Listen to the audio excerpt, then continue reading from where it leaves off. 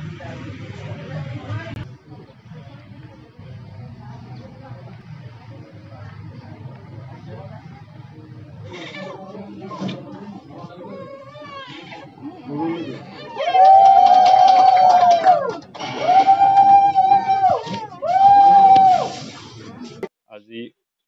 ওঠৰ তাৰিখ ওঠৰ ছেপ্টেম্বৰ।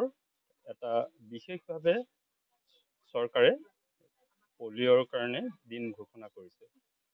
কাৰণ কিহৰ কাৰণে? আচলতে এই আমাৰ যিটো পলিঅ'ৰ বেমাৰ এই বেমাৰত আক্ৰান্ত হোৱা মানে আচলতে গোটেই জীৱনটোৱে মানুহ পংগু হৈ যায় আৰু তাৰ পৰা বাচিবৰ কাৰণেই আমাৰ পলি পলিঅ' প্ৰতিষেধক মানে ভেকচিন যিটো সেইটোৰ ব্যৱস্থা আজি বিশেষ দিনটোৰ কাৰণে ঘোষণা কৰা হৈছে। যাতে কোনো এটা পলিঅ' কেছেই বাচি নাযায়।